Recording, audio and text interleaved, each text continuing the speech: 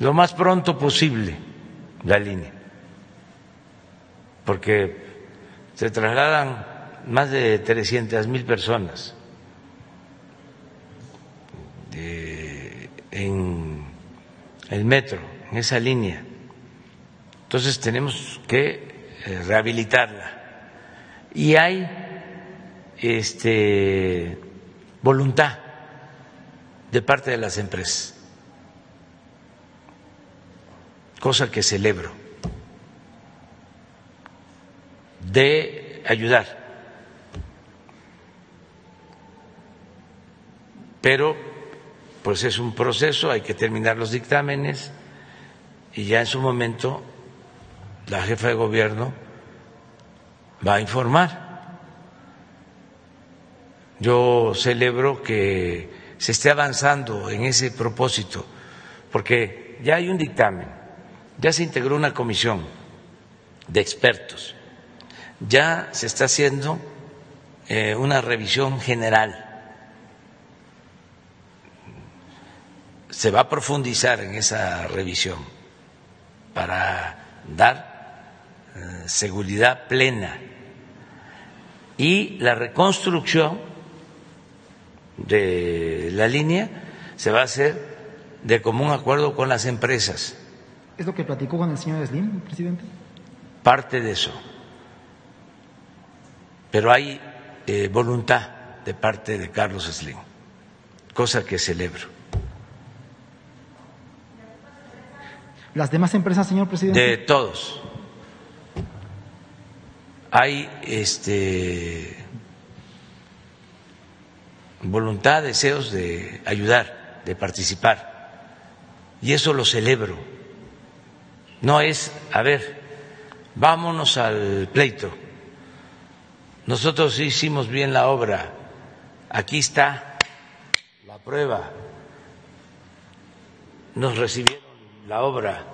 Eh,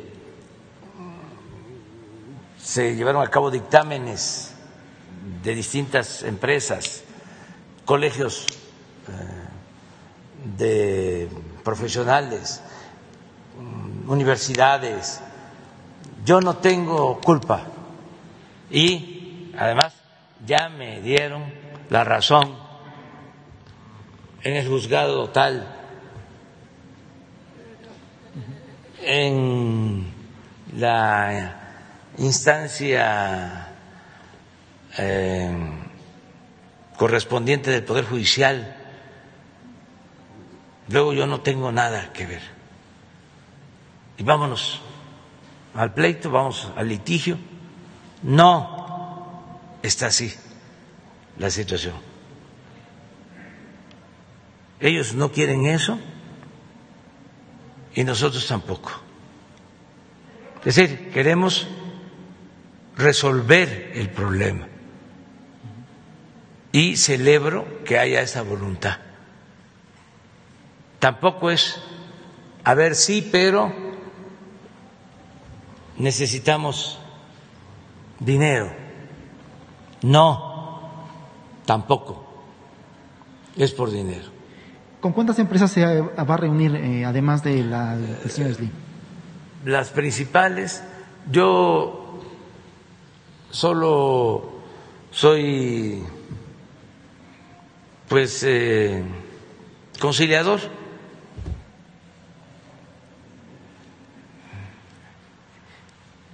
Pero sí estoy contento porque sí hay voluntad. Este, yo siempre he dicho, tengo diferencias, no crean que todo es este, coincidencias, tengo diferencias con Carlos Slim, pero le reconozco de que es un hombre institucional. Este, y que tiene una dimensión social de ayuda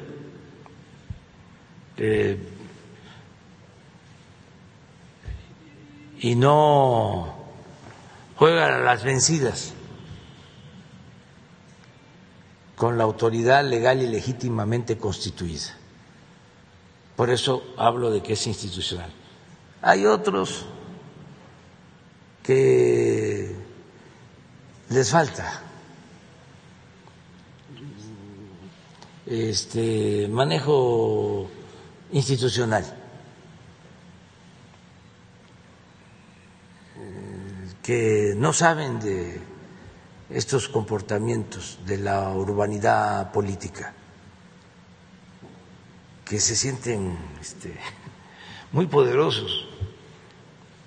Yo creo que tienen menos recursos que Carlos Slim, pero tienen ínfulas de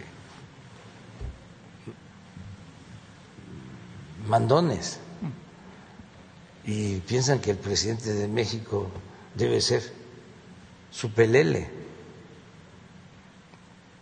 Eh, su empleado. Se olvidan que el presidente de México es el representante de todo el pueblo y que cuando se tiene legalidad y se tiene legitimidad, por eso es importante la democracia, no se puede ningunear al presidente de México, porque es el representante de todos los mexicanos.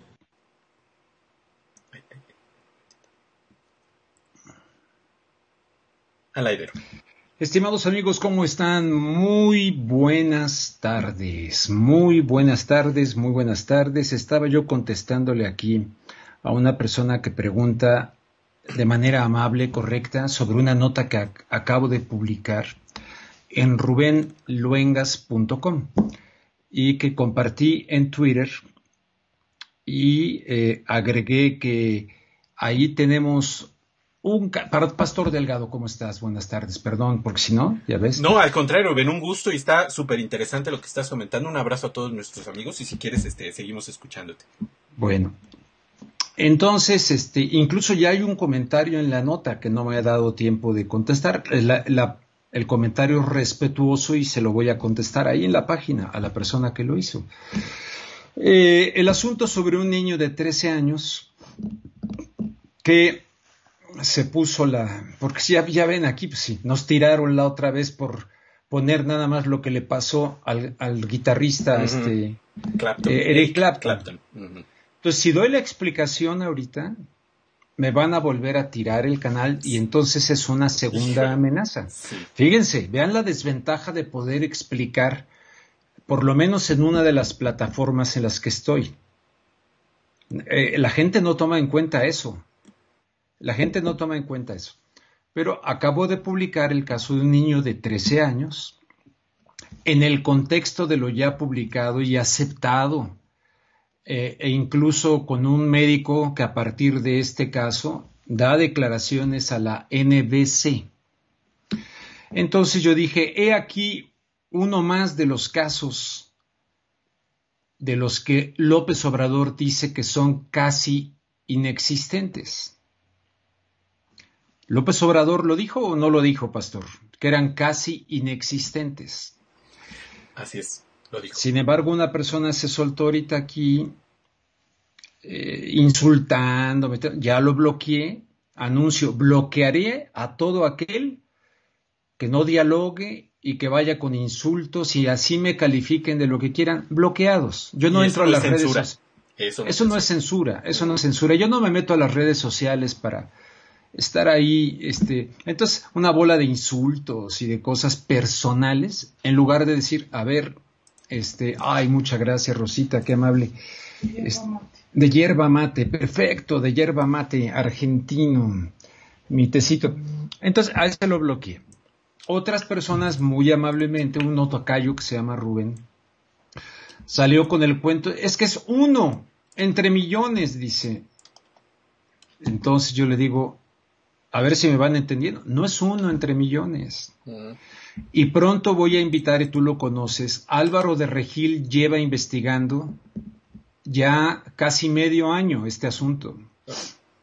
Y va a publicar un libro, ya me enseñó hasta el título y todo, y está basado en datos oficiales en datos oficiales de autoridades de los Estados Unidos y de Europa.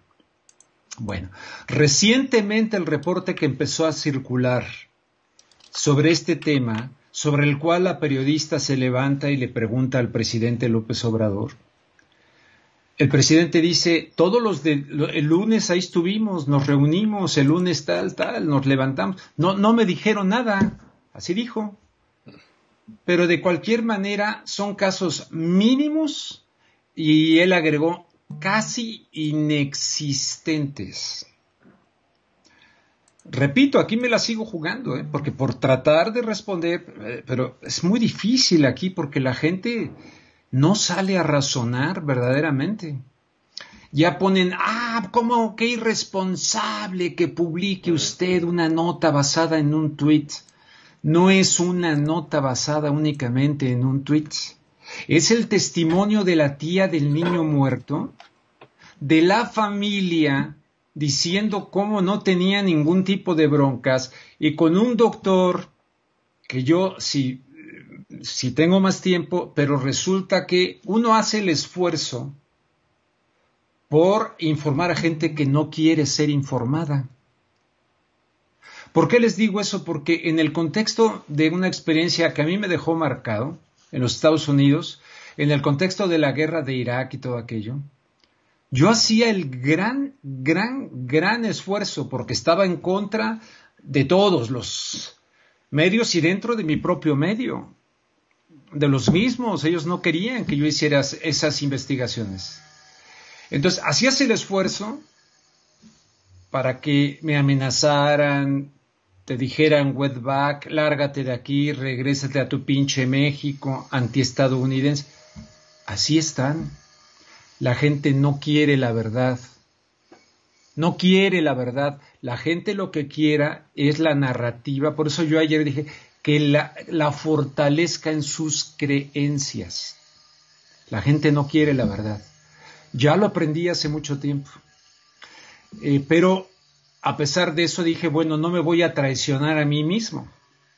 Porque hubo una persona que una vez que llegó a ser gobernador de Morelos y que el tipo ese decía unas tremendas verdades del asesinato de Colosio.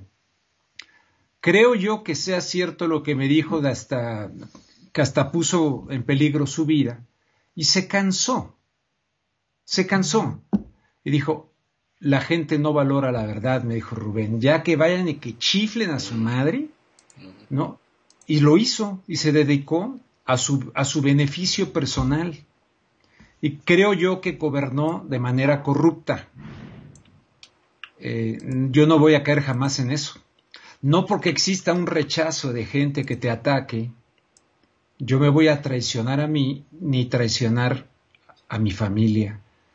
Y si me apuran, pues soy creyente, entonces si Dios existiera, vamos a suponer que sí existe, vamos a suponer, ¿no? Porque ahora resulta que decir que uno puede creer en Dios, pues no está de moda, ¿verdad? Está así como que, este, como que inmediatamente, no, ya este cuate es un conservador, un fanático. Yo, yo creo que hay un ser cósmico que impregna el universo. Y si ese ser es inteligente y de alguna manera algún día dice, eh, oye maestro, te di una computadora, te di en California, te di en México la posibilidad de decirle cosas a la gente. ¿Qué hiciste con aquello? No, pues ya me olvidé, me dediqué a enriquecerme, me dediqué a ser chayotero de la cuarta. porque hay chayoteros de la cuarta? ¡Ey! A ver si me quieren sacar en las falsas noticias que está inaugurando el presidente López Obrador y que saquen esto. Aquí está Rubén Vengas. Era un buen periodista antes, pero ahora dice cosas como esta. Bueno, si se arriesgan a sacarlo en ese tipo de falsas noticias, yo me arriesgo a,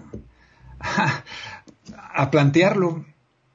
Pero hay chayoteros de la cuarta de manera indirecta o indirecta, que evidentemente nunca van a contradecir al sumo Tlatoani porque no les conviene para su clientela, no para su audiencia, para su clientela. ¿Sí?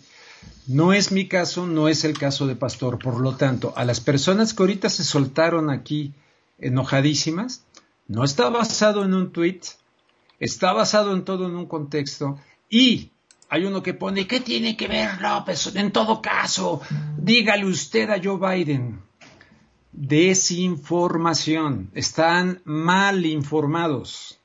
Mal informados. Y si nada más ven la mañanera respecto a este tema, están pésimamente informados. Pésimamente informados. Pésimamente informados. Si nada más ven la mañanera. Si nada más ven ciertos canales de televisión. Y si no saben lo que está pasando en este sentido. Antes de decir que esto iba a pasar, que lo dijimos, pastor, y que había médicos que lo decían, eran anti, anti, anti esto, ¿cómo se llama? Inyecciones, anti no sé qué, o conspirano, eran eso. Ahora, ¿qué ha venido pasando? Ah, estadísticamente son inexistentes. Son miles en Europa y en los Estados Unidos. Miles. Podrán ser inexistentes para ustedes. Qué irresponsables, qué irresponsable la gente que publica allí en la página que pone abajo, pero no, pero esa persona fue decente, pero califica de irresponsable porque cree que está basado en un tweet. Eso es lo que cree. No está basado en un tweet. Eh, eh, eh, esta nota en particular, que además tiene como fuente RT en inglés, ahí está RT en inglés, pero hay mucho más elementos. Pero resulta que ahorita la persona que me ayudaba a publicar en la página, pues está enferma. publico cada vez que me puedo sentar, pero me la juego a cualquiera de los que dicen, eh, me la juego con cualquiera.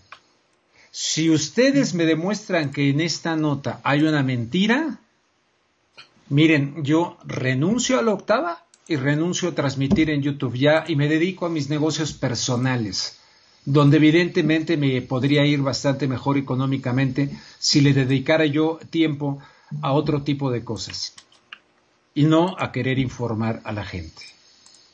¿Sí? Bueno, ahora, créanlo o no lo crean, pero lo penoso, lo vergonzante de este asunto, y lo digo abiertamente, de alguien que, que, que este, eh, Pastor, ¿podrías este, poner tantito esta foto aquí? Claro. Te la, este, la voy a mandar, nomás tantito, nada más así porque... Eh, luego mucho me dice, no se enganche, Rubén, no, no es que me enganche.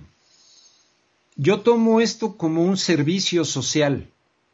Yo no estoy aquí en esto para ganar dinero. En la octava, fíjense, cuando me contrataron de la octava, se los digo, no gano ni la mitad, pero ni la mitad de los que estaban ahí. De los que estaban ahí, desde que inició la octava, de los que salieron recién, ni la mitad económicamente. No fue mi, mi, mi prioridad, claro que que no se debe trabajar gratis, no trabajo gratis. Vittorio, ¿quieres subir a saludar? Pero eh, no, no va por ahí. Yo entiendo como Kapuczynski, eh, de lo contrario, como todo el mundo me dice, ¿para qué te desgastas? Recupérate muy bien de tu infarto, vete a la playa. No me he ido ni de vacaciones, estoy estoy intensamente trabajando, etcétera, etcétera. Podría yo decir, me pongo mi pinchazo ya para tener mi pasaporte y poder viajar por el mundo. Eh, pues tengo la vocación de informar contra corriente siempre, contra corriente, contra corriente. Entonces habrá quien diga, ah, caray, y habrá quien se esté burlando en este momento porque están para eso. Habrá quien diga, Ah, pero el pingüino, lo que dijo el pingüino, ya sabemos hasta quiénes son sus parientes. La otra vez me pusieron eso en, con lo de Anabel Hernández, una persona. No, ya sabemos, el, pingüino dijo hasta quiénes son sus parientes. Pues ese pingüino mintió, es absolutamente falso. O sea que no tienen ni la responsabilidad, ni la responsabilidad de poner en duda lo que dicen los calumniadores profesionales incluido al que le abrió el micrófono, para que dijera impunemente lo que dice de Claudia Sheinbaum, lo que dice de medio mundo. Porque ese personaje, ¿ustedes creen que es así un personaje común y corriente? Bueno, como no lo voy a poder demostrar ahorita que les estoy diciendo, ¿verdad? Pero sí les podría decir que hay ahí agencias, embajadas. No, no, no, esa, pirinola no baila sola. Punto y aparte. Punto y aparte. Lo más valioso que tiene un ser humano, ya no un periodista, un ser humano, es la integridad. La integridad. Y con esa integridad les digo que aquí las personas que, al regresar de esto veo, las, las personas eh, que son bots provocadores o personas que porque les gana su disonancia cognitiva, es decir, como decía Machado, Antonio Machado. Eh, eh, como decía Antonio Machado, déjame ver. Este, es propio de cabezas chiquitas embestir, embestir como los toros, contra todo aquello que no les cabe en la cabeza. ¿Sí? ¿Sí? Es propio de cabezas pequeñas embestir contra todo aquello que no les cabe en la cabeza. Yo modificar el tamaño de la cabeza de las personas eh, para que entiendan, pero resulta que, ay, me ponen además, pastor, ponen además, este, vea, no crea, porque repiten lo que les dice el presidente en la mañanera, así lo repiten. Ya no es tan fácil que nos engañen. Ah, sí lo vi. sí lo vi. Ya no es tan fácil estás perfectamente engañado, ese que puso eso ahí, pero perfectamente engañado. Y si no vas a decidir nunca utilizar el cerebro, que la naturaleza, Dios, la evolución del mono en hombre, lo que ordenes y mandes, te proporcionó, si no lo vas a utilizar, y entonces vas a utilizar el de otros, en los que depositas tu creencia, tu credibilidad ah, está entregada. Yo ya la mía la cancelo. Eres miembro de una secta, una sectota política grandota. Ya sea del PRI, ya sea del PAN, ya sea de Morena, de quien sea. De quien sea. Como decía José Luis San Pedro, ¿de qué sirve la libertad de expresión? Que aquí mucha gente la confunde. Si no tienes libertad de pensamiento.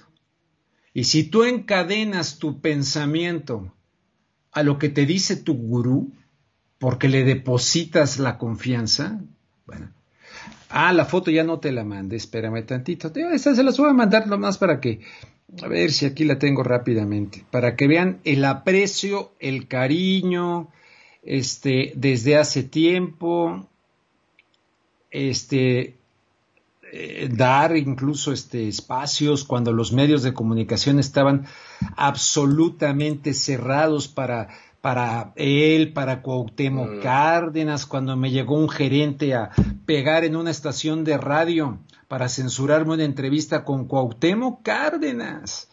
Con Cuauhtémoc Cárdenas, imagínate, porque me dijo, aquí no existe el PRD, Morena ni existía, no existía.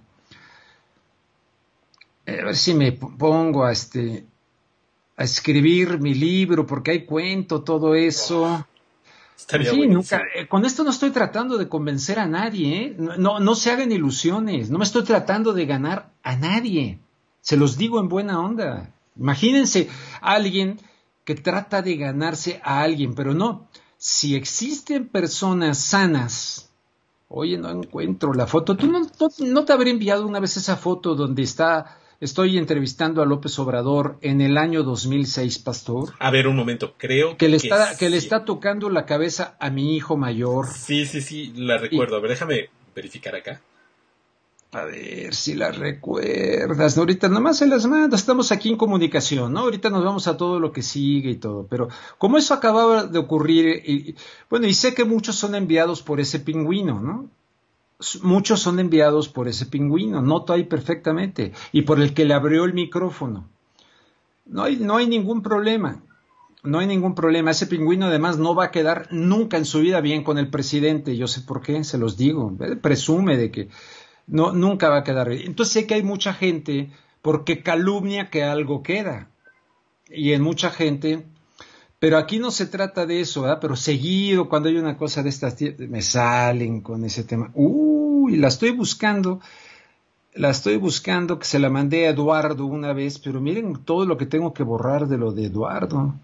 Vargas, que anda enfermo, que ya no, este, ya no nos puede ahorita subir cosas, entonces, este, y de verdad hace uno un servicio social y dice, hijo de la guayaba, ¿no?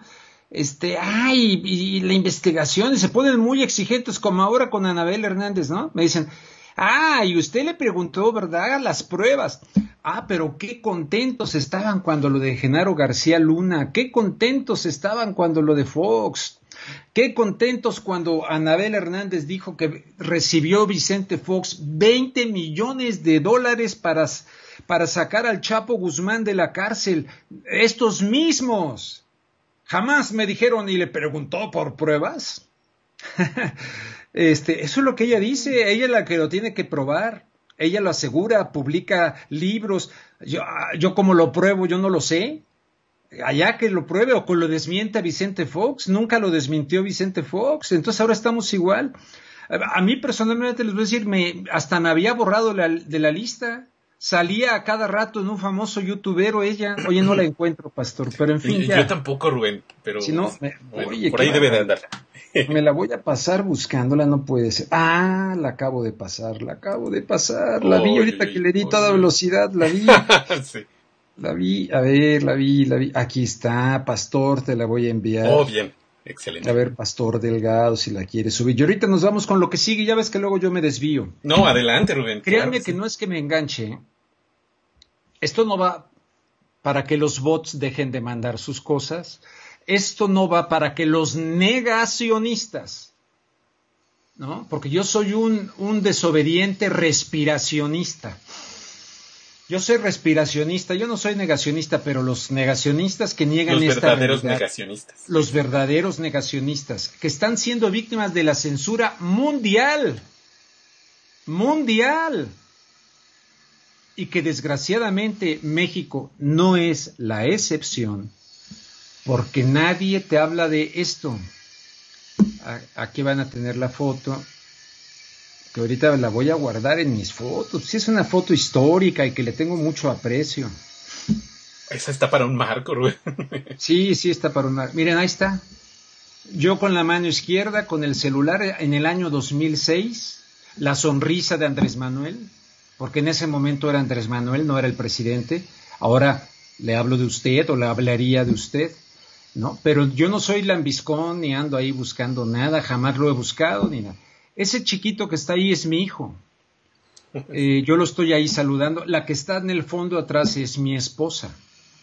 Y él en esa conversación, cuando le dije, mira, él es mi hijo, ella es mi esposa, y ella es hija de fulano de tal, que por cierto el psicofante pingüinesco, mm.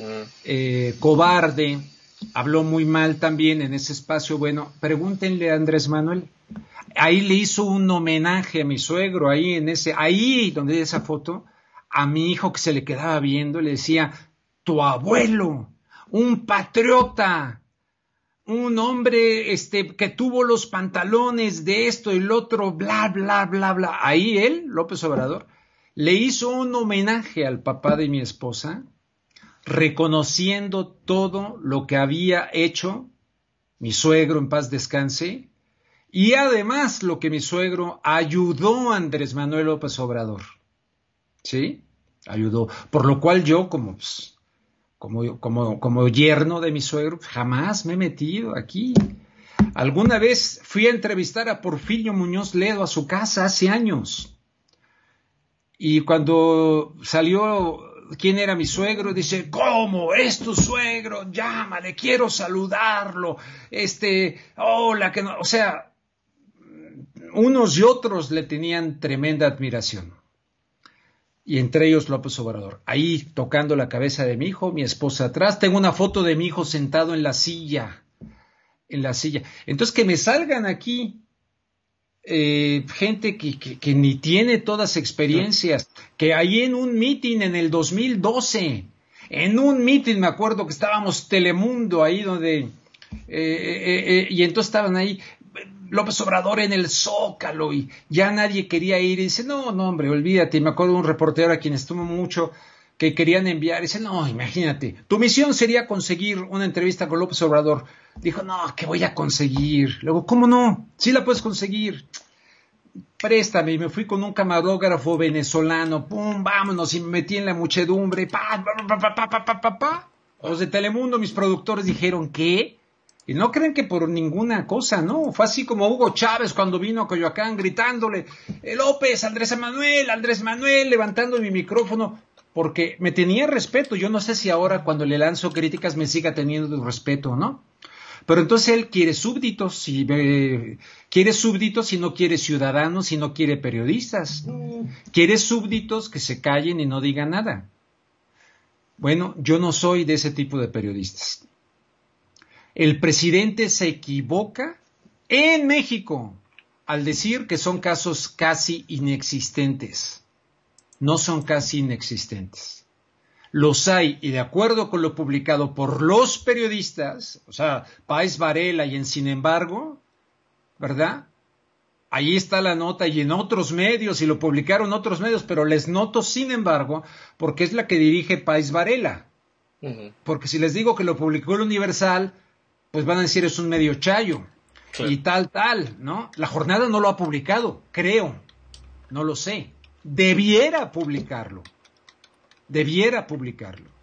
Es un informe a nivel mundial que antes no salía en estos medios, pero está la realidad que ha empezado a salir. Que ha empezado a salir. ¿Será suficiente con esto, pastor? O sea, sé que, olvídate, pero no, y les repito, de ninguna manera se equivoquen.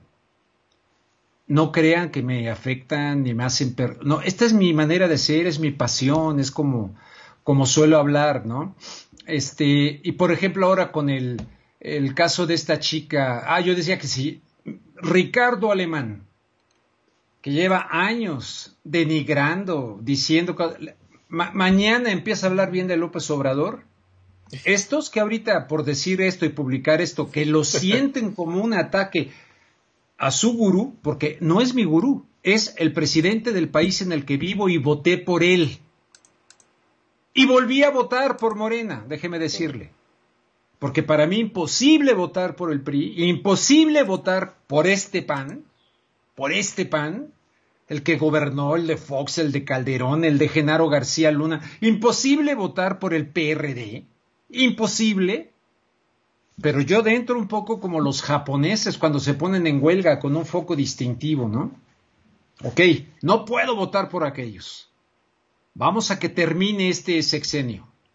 Vamos a ver que se consagre la obra y poder exigir y reclamar. Pero en el camino, en el, en el trayecto,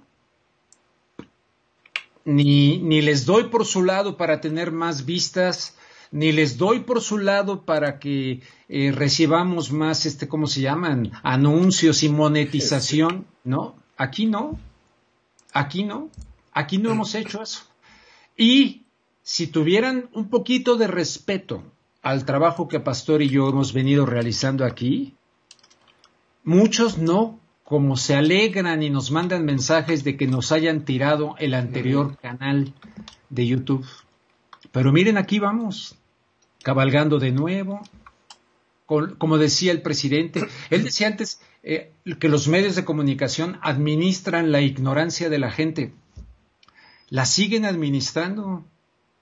La autocrítica es fundamental. La autocrítica es fundamental. En, un, en cualquier cosa, autocrítica. Si no tenemos ese informe contra nosotros mismos, propio, o un movimiento político de esta naturaleza, entonces ustedes quieren ser miembros de una secta política, no quieren ser ciudadanos. Y por lo tanto no hay tal democracia. No hay tal democracia. Porque la democracia es apoyar como sea, a, como dé lugar, a los que yo señalo que son los buenos. Y esto no es un problema de buenos y de malos. Eh, si cito de la, del periódico La Jornada algo, hoy para muchos sí, lo dice la jornada, lo dijo la Biblia. No.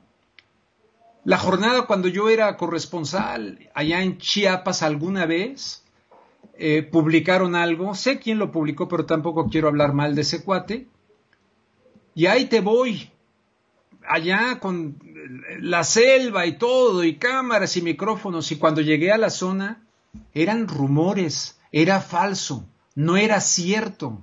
Y cuando lo desmentí, uy, no, no, olvídate. O sea, no, no hubo ni, ni, ni, ni, quien hiciera caso, porque era un medio gringo, debe ser un gringo el que está allá. Entonces la gente actúa por prejuicio, prejuicio. Busquen, usen su cerebro propio, investiguen. Ahí está rubenluengas.com y ahí se termina mi rollo de este jueves. Ayer no pude estar con este con Julio Astillero nada más por aquello de que no te entumas. Este, la verdad es que tenía un asunto de salud que atender y no pude estar. Eh, y luego ya, este, en la noche ya estuve, eh, eh, donde por cierto entrevisté a alguien y se lo dije, Luis Rubio que acaba de sacar un libro nuevo. Ah, quieren que entreviste, pues para eso lean Regeneración. Lean Regeneración y nada más escuchen este medio y, escuchen nada más donde se escuche lo que dicen los morenistas. Punto. No vean para ningún otro lado. Porque todos los demás son el demonio, son... Uh, ¿No? No, uno como periodista no puede hacer eso. Eh, yo no coincido con Luis Rubio, se lo dije ayer, fue él muy respetuoso, acaba de publicar un libro, yo fui respetuoso, porque luego la gente cree que si entrevistas a alguien del otro lado, digamos, a, fuerza tiene que terminar como Fox. No, allá Fox se paró solito, no aguantó las preguntas, se paró solo, se envenenó solo. El señor Fox. Ahora, ¿qué onda con Anabel Hernández? En aquel entonces ahí estaba, él tomó el libro, que ahí lo tengo, están las huellas dactilares ahí de Fox. Esto es basura, esto estás con ellos, esto es basura. No, no, no, aquí está lo del título de la propiedad, ahí está claramente. Enloqueció. Bueno, ahora dice que en Tláhuac hubo compra de votos. Yo no lo sé, yo no me he ido a meter ahí eh, hacer esta investigación, si estuviera más joven como lo estuve, que se vayan a meter los YouTube, youtuberos, algunos de ellos YouTube chayoteros, que se vayan a meter a investigar y a ver si encuentran algo y se atreven a decirlo. Ahora que ya la que se vendió, no, no lo sé si se vendió. Personalmente no me tiraba buena onda, ¿eh? No me daba entrevistas. ¿Te acuerdas, Pastor, que la busqué varias veces? Sí, claro, por supuesto. Eh, acá yo no la busqué ahora, me la buscaron de la octava para hablar del tema. Y yo acepté con mucho gusto. Dije, mira, si ella acepta, yo no tengo ningún problema. Porque a mí yo tengo ahí su... Y a la hora de la previa, las no, no crean que me trató, oye, ¿te acuerdas cuando me invitaste a Los Ángeles y que ah. fui con No, no fue amable conmigo, ¿eh? Para nada. Para nada fue amable. Pero yo no tengo derecho a censurar o, o calificar como la califican por su mirada, porque se cambió, algo se hizo, sí, ciertamente, se le ve, la, veo un poco tensa o tensa, no sé por qué esté atravesando en su vida. Para mí, ahora, que reacción de Morena, pues, tres veces me dejó colgada ante la a quien estimo, ¿eh? La secretaria general de Morena, y, y dije, el espacio está abierto para escuchar, ¿no? Que desmientan, que desmientan. Yo ya me metí hace años eh, y ahí estuvo el, hijo de, Jesús Gutiérrez Rebollo, porque si no aquí van a decir, no, pues usted es periodista, es su misión. Yo ya me metí en ese tema. Ya fui cuando era presidente Cedillo y me metí en ese tema y tal. Y este, y lo ha dicho aquí este, el hijo de, de, de Jesús Gutiérrez Rebollo, lo ha dicho y lo ha reconocido aquí. Él sabe los problemas que tuve que en parte, por eso me fui a vivir a los Estados Unidos, y ahí ya me callo, no tengo que darles más información. Pero ¿saben qué? La gente no quiere la verdad. Quiere escuchar la narrativa que le confirme su creencia. De este servidor seguiré incomodando, seguiré molestando hasta que hasta que me vaya de este planeta o me vayan o me vayan, que en aquella época pues, hubo elementos de motivos para pensar. Eh, ¿Los tendrá en este momento Anabel? No lo dudo. Anabel tuvo los ovarios de decir cuando estaba Genaro García Luna, y que crea que yo no tengo por qué defenderla, ¿eh? porque no me tira buena onda, así, amable conmigo no es. Pero tengo que ser honesto. Lo dijo estando Calderón en el poder. El libro México en llamas lo dijo estando en el poder. Con Peña Nieto lo dijo estando en el poder. Con Fox lo dijo estando en el poder. Ah, pero ahora ante sus ojos ya es chayotera, ya está loca. ¿No? Entonces, si ustedes piden pruebas, yo les pido pruebas también. A mí alguien me acaba de poner aquí chayo, chayolenguas o no sé qué. A ver, muéstrame una prueba, una prueba. Y renuncio hasta el YouTube, mira, renuncio, les digo en la octava, saben que soy chayotero. Ya les conté que alguna vez un hombre poderoso que me encontré en lo que era la horrera, que ahora es el Walmart, ahorita hablaremos de Walmart, mm. y salí de un medio y me citó y que fui, y que me dejó ahí muy bien, entonces me, mandó con su asistente, le digo, ¿y qué? ¿En qué va a consistir? ¿Qué voy a hacer? No, nada, venir a cobrar. Le dije, por favor, dígale al licenciado que de ninguna manera, ¿no? Eh, se lo quisiera yo decir personalmente. No, no, es que él ya está en una junta. Híjole, pues dije, ¿qué tal si no le... Bueno, dígale, por favor. Y salí de ahí, miren, viendo a mi mamá que todavía vivía y a mi actual esposa, Gaby, ya era mi, era, mi esposa o era mi novia, era mi novia, y ambas felicitándome por la congruencia. O sea que no se equivoquen, y claro, los que quieran por el, por el, ¿cómo se llama? El pingüino psicofante y todo ese grupo, Ahí está. Entonces, cada quien tomará su decisión, cada quien será la persona que, que razone por sí misma, que piense por sí misma o sean así como yo. Yo la verdad a veces creo que no, que muy valientes en México. No, cobardones. Somos medios cobardones ahorita, la verdad. Mientras gente está saliendo en Europa, claro, aquí López Obrador no ha cometido actos draconianos. Mm. faltando a las libertades por el asunto este, pero en otras partes sí. Y están hablando, médicos que están hablando, científicos. Aquí, aquí, por una doctora de estas valientes, me tiraron el otro canal también. Mm. Entonces, ¿qué quieren? Ojalá, ojalá entiendan. Ahora ya, si no les da de verdad, si no les da para entender, bueno, el esfuerzo se hace. Pastor Delgado, perdóname que me haya tomado tanto tiempo, Pastor, y adelante.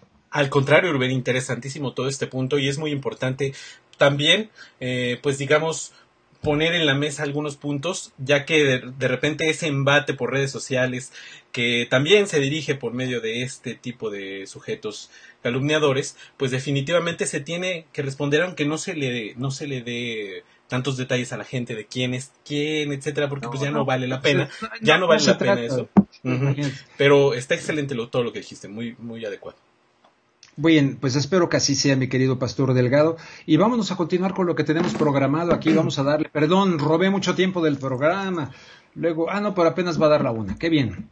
Así, Rubén. Y pues bueno, rápidamente, eh, como vieron en el titular, eh, estamos dedicados en este programa, aparte, bueno, de lo que vaya saliendo, como, como bien lo saben, eh, principalmente al tema de la visita de Carlos Slim a Palacio Nacional, que bueno, desde todos los puntos de vista se ha, se ha como, eh, digamos, opinado de diversas maneras, unos entre los que me cuento yo, eh, se, se, podría decir que es como una especie de repetición de aquello de eh, derecho de picaporte que veíamos en otros sexenios. No vemos a otros empresarios menores que también están eh, sufriendo otros tipos de problemas, llegando a Palacio Nacional como en este caso. Pero bueno, aislando este asunto de que Carlos Slim tiene derecho a ver en persona al presidente López Obrador, como cualquier otro presidente de otros sexenios, y que en eso no ha cambiado nada, eh, pues bueno, sabemos que la empresa de Carlos Slim eh, Grupo Carso y otras empresas que están implicadas en la construcción de la línea 12, pues se vieron en graves problemas cuando hubo este derrumbe de la, de la trave eh, de la sección superior de, ya saben, en esta, en esta tramo de Olivos y la otra estación. Y pues bueno, resulta que las acciones de la empresa de Carlos Slim empezaron a bajar y a bajar. Esto eh, pues los llevó a una urgencia de llegar a un acuerdo y pues vaya, en esta conferencia, en, bueno, en esta reunión a puerta cerrada, supuestamente lo que dice López Obrador, como también ya lo vimos en, en la introducción, eh, pues está llegando a un acuerdo en que estas empresas van a asumir los costos de la reparación de la línea 12, que sabemos que también eh, pues sería bastante oneroso para eh, los recursos de la nación el volver a, reinstalar toda esta, toda esta línea. Y vamos, eh, esto es como en general lo que estamos, estamos tocando. Vamos a ver nada más rápidamente las escenas de cuando este pasado martes 22 llegó Carlos Slim a Palacio Nacional. No, no tenemos que escuchar nada, o sea, realmente no hay mucho que escuchar.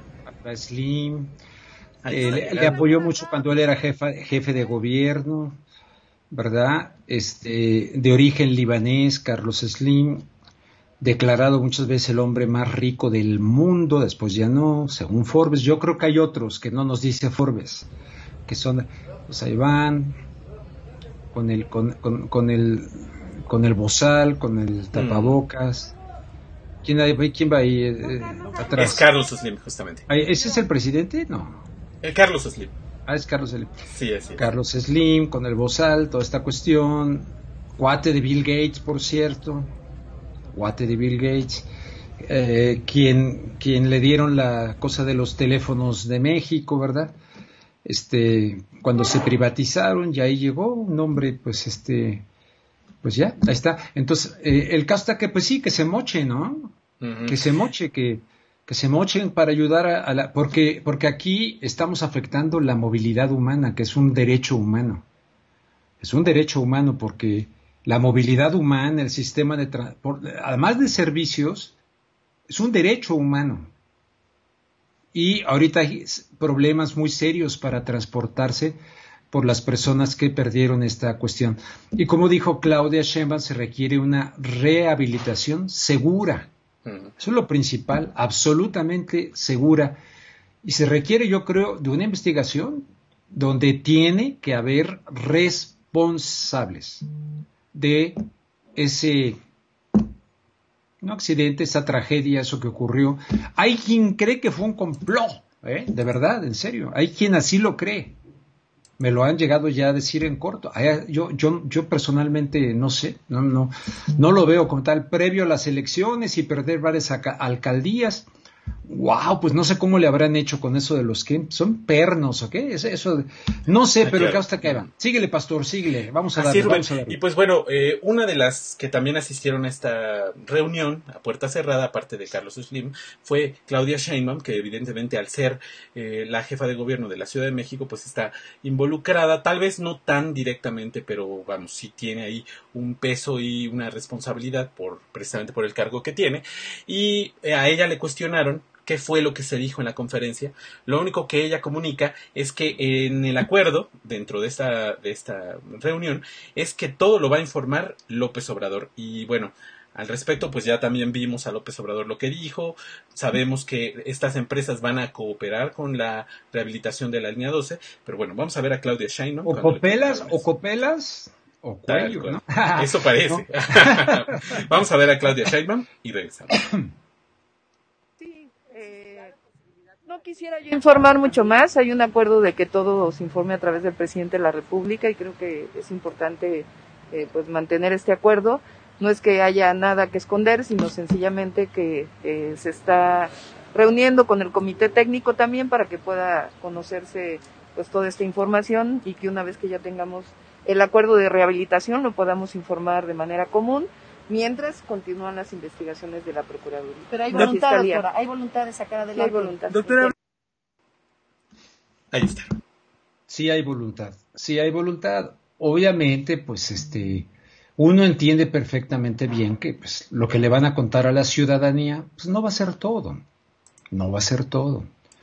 No habrá nada que ocultar, correcto. Bueno, pues sí, no, no. La, la participación de estas empresas respecto en la construcción de la línea dorada. Entonces yo entiendo un poquito, bueno, en lugar de ir por culpables, en lugar de ir por esto que dice el presidente, así, pum, sacar la guillotina, a ver quién fue el responsable, no echárselos en contra y decir, bueno, ayúdanos a, a rehabilitar este asunto. Creo que por ahí va el tema, ¿no? Ahora, ¿cómo va en el tema de, este, de estrictamente de la justicia?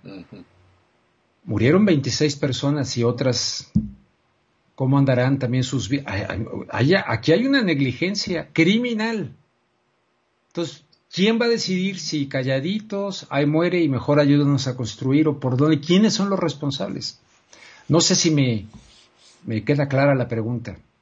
Totalmente, Rubén. Y de hecho, esa es una de las preocupaciones que también se han planteado mucho en redes sociales, porque todo parece encaminarse paso a paso, aunque muy lentamente, a que realmente todos los funcionarios involucrados, los empresarios, etcétera, van a contribuir a reparar el daño, pero sin embargo, no, no parece nada, nada en lo absoluto apuntar, como tal lo dices, a una justicia. Eh, no fueron ellos, digamos, los que eh, serían directamente culpables porque ellos dicen que tienen dictámenes de que les entregaron eh, pues las pruebas de que supuestamente estaba en buenas condiciones. Bueno, entonces si ellos no son los culpables, baja de escalón. Los, los siguientes en el escalón están afirmando que ellos dieron las órdenes correctas, entonces bajamos el escalón y están diciendo que entonces fueron los materiales y así vamos bajando de escalón hasta que finalmente tal vez solo culpen al tornillo. o sea, realmente no hay un camino a seguir hacia la justicia. Se me hace que por ahí va a poder ocurrir, o sea, como nos dijo aquí este Fer eh, Coca, ¿no? Es Fer Coca, ah, autor del libro, que dijo, no va a haber, o sea, olvídense, esto no va a llegar a Marcelo Ebrar, esto no va a llegar a Claudia Sheinbaum y esto no va a llegar al doctor Mancera. No, no va a llegar. Eso me dijo él. Vamos a ver qué ocurre. El presidente ha dicho los responsables. A ver si no termina siendo, pues, ahí, eh, no sé, un obrero, los obreros que estuvieron ahí poniendo aquel asunto. Ah, vamos a ver qué ocurre, vamos a ver quién termina siendo. Y seguimos, pastor. Así es, Rubén. Y pues bueno, dejando a un lado lo que pasó con Carlos Slim ahí en Palacio Nacional, que seguramente va a dar mucho de qué hablar todavía porque Además de todo esto, es curioso un fenómeno de lo de Carlos Slim, porque con esto de que está cooperando para rehabilitar la, la, pues la línea 12, en vez de que su imagen se vea perjudicada, está por un, en un fenómeno muy extraño, está siendo como eh, limpiada, digamos, está viendo bien el empresario Carlos Slim al colaborar con la 4T, al rehabilitar esto. Y, y pues en redes sociales mucho se habla bien de Carlos Slim, pero hay otros, como eh, pues el aquí presente, un, un, servidor, que también ha visto las consecuencias de un empresario Carlos Slim voraz con con la depredación de los barrios populares, etcétera, y que no se nos olvida. También yo quería retomar eh, una, una, breve anécdota nada más, porque López Obrador últimamente ha estado hablando muy bien de, de Carlos Slim, que es una, una persona de lucha, en fin, etcétera, muy institucional. Pero yo recuerdo muy bien eh, en el año 2006, cuando recién acababa de ser el fraude de Felipe Calderón, él ya había tomado el poder, yo estaba cursando mi carrera, etcétera, y bueno, nos ofrecieron a, algunos, algunos estudiantes una beca por parte de la fundación de, Slim, de Carlos Slim, eh, por rendimiento académico y no sé qué.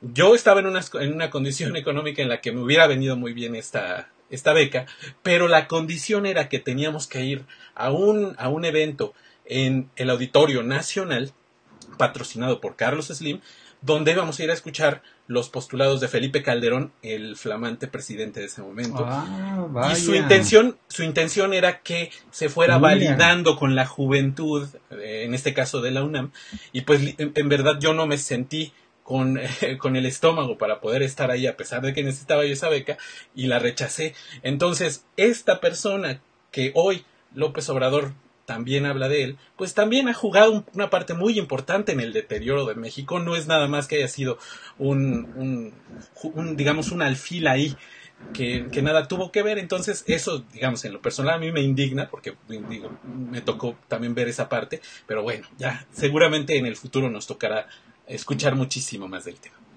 Muy bien, mi querido pastor Delgado. Pues ahí tenemos al señor Slim. Qué bueno que vayan a reconstruir aquello, pero en fin, ahí están los antecedentes.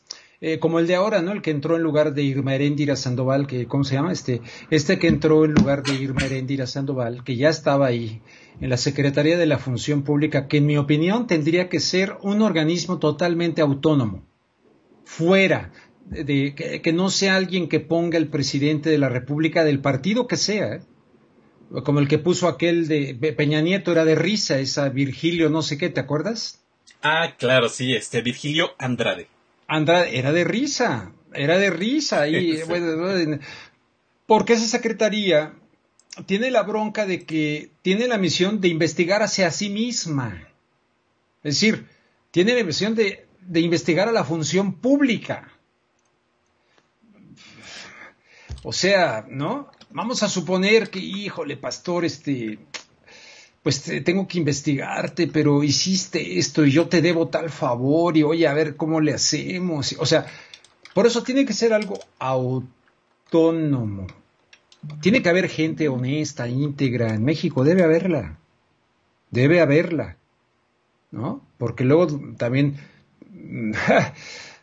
muy, muy fácil, pero debe haberla. Entonces, crearse un organismo autónomo, autónomo de adeveras, para vigilar la administración pública y con acceso a documentos y todo. Bueno, este que entró ahora, en lugar de Irma Heréndira Sandoval, ¿verdad? Este, que ahí fue, fue interesante el lenguaje no verbal, ciertamente, ¿eh? a la hora de la despedida, todo aquello. Una de las personas más cercanas, sobre todo el papá de Irma Heréndira Sandoval este luchador de izquierda, en guerrero, de mucha, de mucha cosa. Y se especula que todo aquí tuvo que ver el tema de la gubernatura para su hermano. Se especula, yo no puedo asegurar, pero eso se especula. Pero este que llegó ahora, que estaba ya trabajando ahí con Irma Sandoval, pues viene de con Marcelo Ebrard y viene de con Camacho Solís y viene por lo tanto desde Carlos Salinas de Gortari. Este nuevo que está en la... Entonces, Carlos Salinas de Gortari, Camacho Solís, Manuel Camacho Solís, Marcelo Ebrard y el que sustituye a Irma Heréndira Sandoval, ahora ese, viene de ese linaje. Ahí se construyen muchas cosas, se construyen muchas en el sistema político mexicano y en el norteamericano y en el chino y donde quieran. Pero en fin, seguimos, pastor. Así, Rubén. Y pues bueno, eh, también otro, otro asunto, pero que indirectamente también va ligado con este abuso de los empresarios, de las grandes empresas, eh, que luego eh, se enriquecen por el trabajo honesto de muchas personas y la necesidad de un trabajo en estas circunstancias mundiales, sobre todo de pandemia. pues bueno, sabemos que antes, un poco antes de, la, de este asunto de la pandemia, se utilizaba como empacadores a gente de la tercera edad en Walmart, en las tiendas de Walmart, cuando uno pasaban los, los artículos, al final estas personas se encargaban de guardar eh, pues todo esto, uno les daba propina y demás, y es verdad que no son empleados directamente así, que estén en nómina, etcétera, pero finalmente estaban otorgando un servicio a Walmart y por eso eh, Walmart también tiene una responsabilidad por esas personas, se enriquece y mejoró su servicio gracias a la presencia de estas personas, y pues bueno, muchas personas están diciendo que a estos, a estos grupos de la tercera edad los removieron cuando se ordenó el, el, ya no uso del plástico, puesto que supuestamente cuando ya no había bolsas de plástico ya no eran necesarios los empacadores porque las personas utilizaban estas otras bolsas eh, que venden ahí de color verde en Walmart y todo este rollo, lo cual también es falso, como bien nos lo mencionaba por ahí en redes sociales nuestro amigo Israel Buitrón, porque a pesar de que el plástico como tal dejó de utilizar los empacadores de la tercera edad seguían ahí presentes, eh, utilizaban, aunque, aunque fueran estas nuevas bolsas, seguían ellos desempeñando su función de empacar eh, pues todos los productos de las personas, etcétera. Cuando llegó la pandemia, con el pretexto de que eh, son un grupo vulnerable, etcétera, aunque digamos que tiene cierta parte de verdad, dejaron de lado la completa necesidad que muchos de ellos pudieran tener y depender de este, de este ingreso, pues bueno, se fueron a sus casas con la promesa de que cuando todo este eh, asunto de la pandemia disminuyera, pues iban a regresar a sus puestos de trabajo, iban a poder volver a tener ese ingreso, que a muchos de ellos les complementa su ingreso mínimo que tienen con esta eh, como pensión que les otorga el gobierno, el gobierno de López Obrador ya desde hace varios años también, que fue impuesto, bueno, que fue, digamos, puesto por el gobierno cuando todavía López Obrador era jefe de gobierno. Y ahora resulta que Walmart pues ya está eh, dando la noticia, una muy mala noticia para este grupo de la tercera edad, en que ya no van a volver, ya no van a poder volver a sus eh, puestos de trabajo para volver a tener este ingreso que les ayudaba bastante, siendo ellos, pretextan, que eh, pues los compradores de Walmart ya no quieren tener una persona que les toque sus productos y demás. Mentira. Es un, es un pretexto absurdo. Mentira, absoluta mentira. Porque además, pastor. adelante, Rubén, sí, porque además hay muchas, hay muchas cadenas más allá de Walmart que ya están regresando a las personas a sus puestos de trabajo y que además los usuarios, digamos los clientes, están agradeciendo porque era bastante complicado eh, tener que a la vez estar pendiente de que te cobren adecuadamente la mercancía y además guardar tus productos. Muchas de esas personas van solas porque además en muchas otras cadenas siguen todavía con esta regla de que una persona por familia, etcétera, y evidentemente tener ese auxilio de las personas de la tercera edad como empacadores es una gran ayuda y Walmart está pretextando que los clientes son los que no quieren que estén estas personas, personas ahí, lo cual es completamente falso, como bien lo dijiste. Es mentira, absolutamente mentira. Está dentro del advenimiento. Hijo, le están acá dándole duro unos martillazos, disculpen. Este, eh, eh, es mentira, punto. Ya, ya, la gente sabrá, ya para qué se les explica. Es absolutamente mentira y esa gente necesita de las propinas que recibían y tal, y de la ayuda que se les daba con muchísimo gusto. Entonces, ah, es absolutamente falso. Ahora, aunque tú lleves tu propia bolsa y toda esa cuestión, ¿verdad? Te les puedes poner la bolsa, aquí está mi bolsa, écheme la mano y tal, pero además porque ahí lo hace uno con gusto con esas personas necesitadas. Y ahora las quieren estrangular, hombre. Ahí no quieren los, eh, los estos como si tuviéramos, tuvieran lepra. Es parte de la nueva anormalidad. Déjame cerrar un poco la puerta.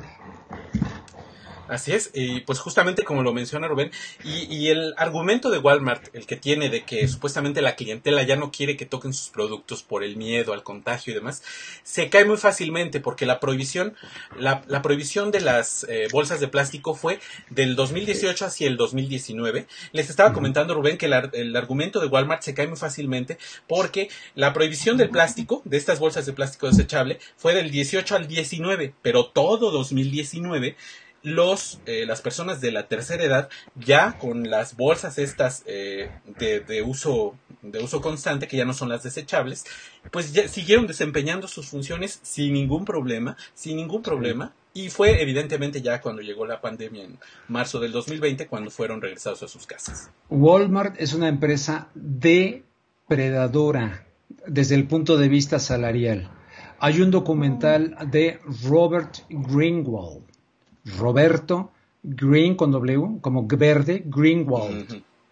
Eh, busquen el documental sobre Walmart de Robert Greenwald, empresa para la cual trabajó hace muchos años la señora Hillary Clinton. Hillary Clinton. Entonces la trajeron aquí, yo hice los primeros reportajes de cuando entró a México Walmart y empezaron a desmantelar todo. Los superamas que no eran de Walmart son de Walmart, los superamas que no eran de capital de este de allá. Y así, hombre, eh, y toda esta colonización. Quiso entrar Carrefour, ¿te acuerdas? Aquí había ah, Carrefour eh, europea y al poco tiempo vámonos fuera de aquí. América para los americanos. Tremendo, pastor, adelante, man. Eh, así, Rubén, y pues bueno, otra, otra cuestión que está sucediendo muy curiosa en este, a este respecto del asunto de Walmart, es que en redes sociales salieron, perdón, un eh, bulto de virus.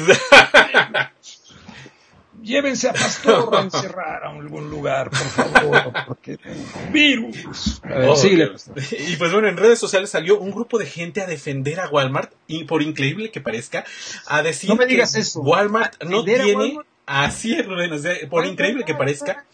Eh, esto ese grupo de personas que además, bueno, no quiero yo eh, ser mal pensado, pero igual podrían no ser exactamente personas, sino algún tipo de cuenta pagada, eh, pues están defendiendo la postura de Walmart, diciendo que en ningún momento Walmart tenía una obligación con estas personas, cuando es claro que estas personas, al utilizar el uniforme que les daban, al estar en las instalaciones de Walmart, pues estaban bajo la responsabilidad de esta empresa. Y pues bueno, este grupo de personas han estado defendiendo los intereses de Walmart extrañamente. Pero bueno, afortunadamente en las redes sociales hay muchas personas bastante conscientes y también están, digamos, contraatacando este, esta defensa muy extraña de ciertos grupos de personas hacia Walmart. Y pues bueno, afortunadamente esto llamó la atención de López Obrador.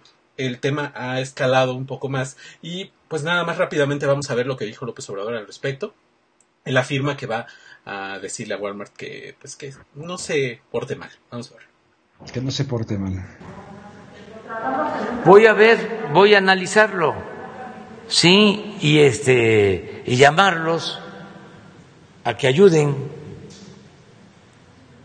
que contribuyan Walmart es de los centros comerciales que más vende.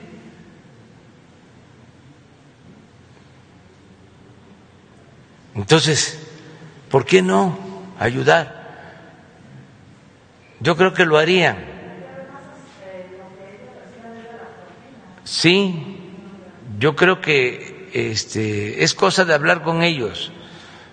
Eh, muchas veces eh, se resuelven las cosas con diálogo, con comunicación. Lo vamos a hacer. Te lo encargo, Leti. ¿Sí? Y a ver qué hacemos. Ahí está, ¿Quién es Leti, eh? me parece que es la, justamente una de las reporteras, me parece. ¿Y, ¿Y a ella se lo encargó? Eso, eso entendí. Si, si estamos mal, que nos diga a la gente qué entendieron ellos. sí. ¿Tú crees que la conciencia exista, pastor, dentro de la corrupción enorme que sigue mm. habiendo en México? De la tremenda corrupción dentro de todos los partidos políticos, dentro de la sociedad, en el mundo empresarial, en algunos sectores, eh, en iglesias, la corrupción existe. ¿Estás de acuerdo o estoy mal? ¿O ya eh, no Totalmente, no, claro que existe, por supuesto, la veo a diario por todos lados. Fíjate, eh, ¿y, ¿y, existirá la conciencia? Creo yo que si pensamos que la conciencia es el conocimiento del bien y el mal, estoy segurísimo que estos sujetos corruptos saben que hacen mal, pero no les preocupa en lo absoluto. Eh, dice aquí eh, Ramón de Campoamor. Ramón de Campoamor, tremendo poeta, eh, asturiano, de hace muchísimos años, español. Este dice: hacerse justicia si uno a sí mismo a juzgar se fuera, o se fuese, perdón, si uno a sí mismo a juzgar se fuese a la luz del día, o sea, a la luz de la verdad, ¿cuánta gente escopiría sobre su sombra al pasar?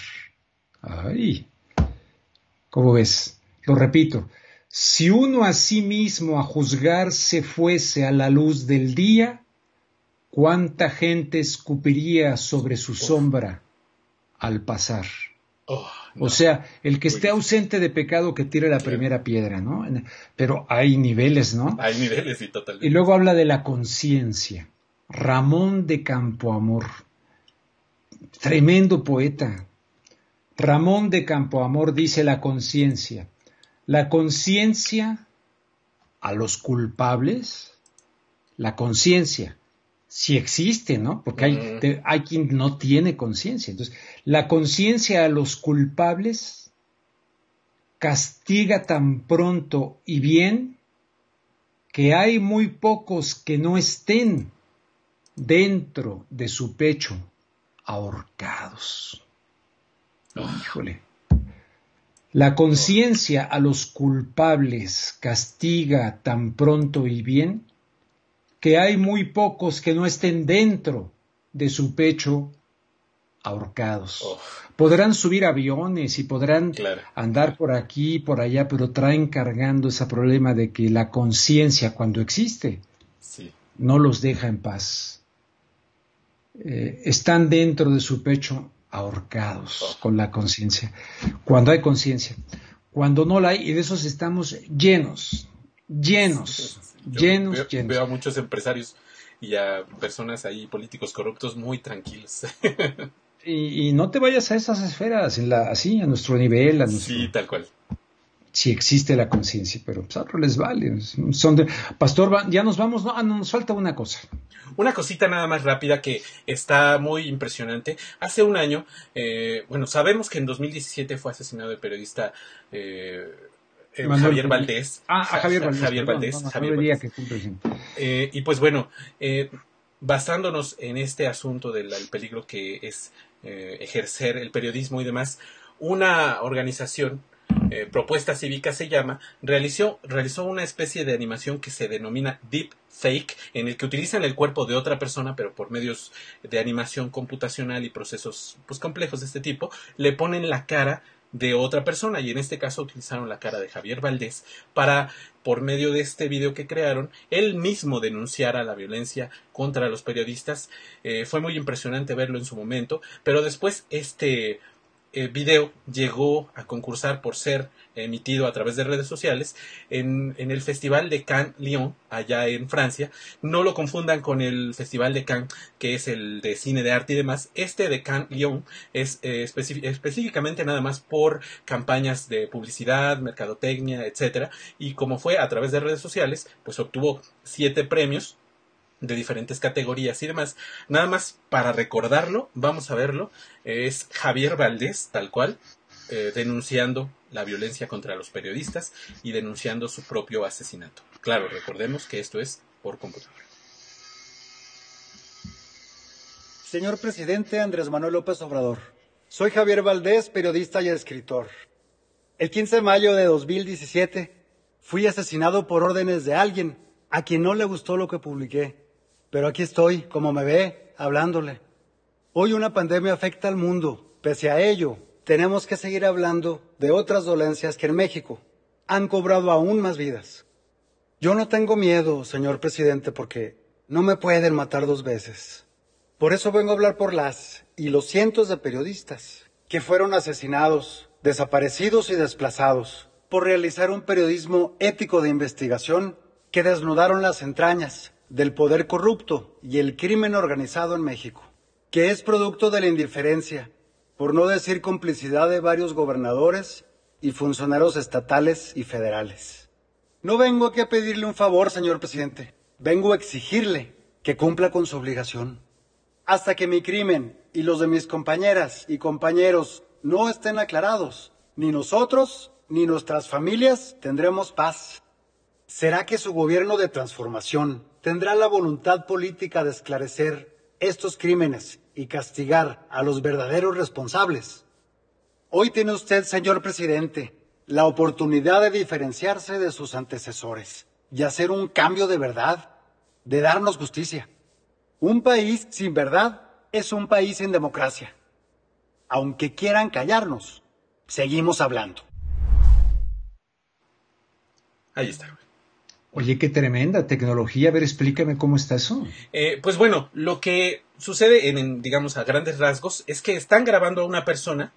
Este, el cuerpo que vieron es de una persona que tenga características similares, por ejemplo, en este caso a Javier Valdés, pero por medio de recreación en 3D, eh, utilizando fotos como referencia, videos, etcétera, generan una especie de eh, animación de la cara de Javier Valdés, la cual por medio de procesos de edición se la colocan al cuerpo que ya tenían previamente grabado. También tienen que eh, tener alguna persona que logre imitar la voz de Javier Valdés. Hacen todo este compuesto, digamos, visual, y este es el resultado. Es impresionante y también lo han utilizado en el cine, en el cine ya hollywoodense, para, por ejemplo, eh, rejuvenecer a algún actor que necesita hacer alguna escena de cuando estaba pues muchísimo más joven, hacen ahí ciertos asuntos y también tenemos este tipo de, cosas en el cine, o sea que el deep fake, que así se le dice, puede ser tanto bien usado como mal usado en el futuro.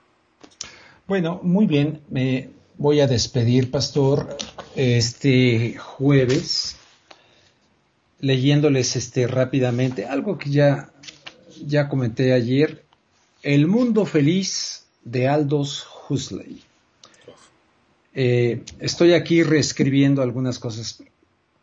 En este libro visionario, escrito en 1932, Aldous Huxley Imagina una sociedad que utilizaría la genética y el clonaje para el condicionamiento y el control de los individuos.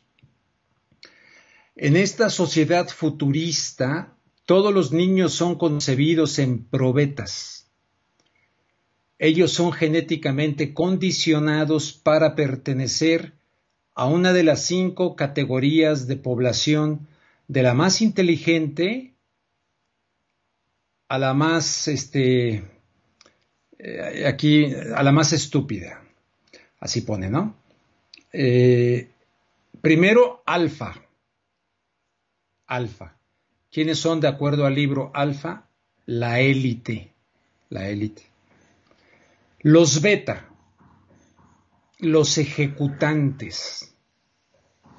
En ese beta están así personajes de estos millonarios, no, pero no, pero en la otra están la élite, la élite, la élite. Eh,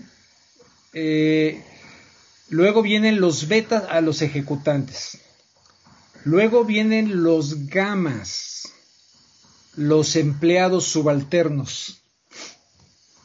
Y finalmente vienen los epsilones, destinados a los trabajos arduos. El mundo feliz describe también lo que sería una dictadura perfecta, que tendrá la apariencia de una democracia, una cárcel sin muros, en la cual los prisioneros no soñarían en evadirse. Un sistema de esclavitud donde gracias al sistema de consumo y el entretenimiento, los esclavos tendrían el amor por sus amos. Este es uno de los diálogos, dice aquí lo que tengo aquí, entre el administrador general del libro, el mejor de los mundos, y uno de los raros disidentes, Huxley, había imaginado perfectamente los principios del control social moderno. La población óptima está sobre un modelo de iceberg, ocho de nueve partes debajo de la línea de flotación y uno de nueve partes por encima. Y ellos son felices debajo de la línea de flotación, en detrimento de este horrible trabajo.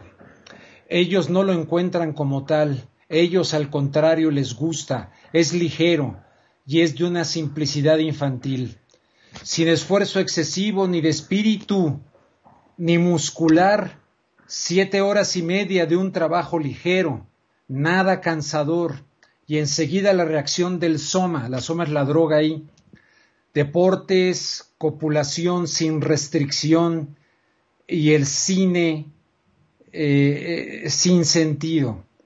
Shakespeare está prohibido porque es antiguo. Aquí no empleamos cosas viejas en esa nueva sociedad. Si se dan cuenta, ya el libro está en peligro de extensión, ya quien lea Shakespeare, ya nada de eso. Eh, ya no hay cosas, sobre todo si son bellas, la belleza atrae. Y no queremos que seamos atraídos por las cosas antiguas. Queremos que se amen las nuevas, la tecnología, en fin, sigue, sigue, les estoy preparando algo con este material para ponerlo en un video, junto con un video original del autor del Mundo Feliz de Aldous Huxley, o sea, Aldous Huxley, donde él en su propia voz, en su propia palabra, narra cómo será controlada la sociedad del futuro. El futuro ya hace mucho que nos rebasó desde el punto de vista de Huxley y se vino a combinar con Orwell. Se vino a combinar con Orwell. Y lamento mucho decir, ahorita acabo de asomarme al... Eh, y una persona, ay señor Luengas, ¿cómo se ve que quiere llamar la atención por la publicación esta de... ¿Ves? Así, así a lo gratuito, a lo gratuito. Está bien, está bien, no hay ningún problema. Este, no hay ningún problema, pero este, híjole, eh, mientras que hay otros que están buscando diálogo, yo mm. con eso sí, con los otros, ¿para qué, para qué establecemos contacto, no? ¿Para qué? Eh, las redes sociales para mí no son para eso. ¿Cómo han las benditas redes sociales? Uf. Este, la otra vez me mandó alguien algo también así, que tenía uno o dos seguidores, ¿no? Vi su perfil, y salía un cuate cargando a una chava ahí, así como perritos, ¿no? Digo, no porque, eh, pero, eh, ah, no, pero eso sí puede estar ahí. Eso sí, no, no, no censurado, cualquiera lo puede abrir, cualquier chavo y todo. Y luego veías todo lo demás, bueno, ya rayaba, ya después, ya en la pornografía, ¿no? Y eso está ahí en Twitter, sin ningún problema. Mm. Pero como dijo Rockefeller, el viejo Rockefeller, el del petróleo, el que, el que organizó mucho del show en el que estamos ahorita, a través de, de muchos otros, él dijo, no quiero un país de pensadores. Así lo dijo. Quiero un país de trabajadores. Soldaditos. Soldaditos. Bueno, cada quien decide si piensa por sí mismo o alguien le elabora cada mañana, por muy bien que a mí me caiga, ¿eh? A mí me cae muy bien, lo apoyé, ya les mostré la foto, pero yo conservo mi cerebro y seguiré razonando por mí mismo. Pero aquellos que de manera colectiva, en manada, cancelan su pensamiento y además se creen emancipados, se creen liberados, que ya no son engañados, y siguen nutriéndose de los medios de comunicación, los mismos de siempre. Ah, aquí está la foto de, de Pastor, este 2006, ahí a, eh, la, verdad, pues me, quedo con ese Andrés Manuel, con ese que está ahí. Me, quedo con ese y no en el que dijo, eh, por ejemplo, que esto eran casi inexistentes. No, con ese no me quedo. No, me quedo con este, me quedo con este. Vamos a ver qué ocurre en el tiempo que resta este, para, que, para que se haga una transformación y sobre todo de fondo a la corrupción, de fondo, así, ¡pum! Este, y a ver cuánta gente le entra, porque a la hora de los catorrazos estamos en guerra. La gente no se ha dado cuenta, estamos en guerra, es guerra de cuarta generación. Estamos en guerra. Entonces en esa guerra pues están los cobardes, los traidores, los... Y están los que se esconden, claro. Es muy fácil eh, poner una foto, un changuito, un monito y, y lanzar un tweet y, o poner una foto que yo no soy, o poner mi foto y decir estupideces, ¿no? Eso es muy fácil. Estamos en una guerra. Incluso en el eh, futuro podrían usar el deepfake que acabamos de ver en el video. ¿El qué? Ah, el deepfake, como el de Javier Valdés. Exactamente.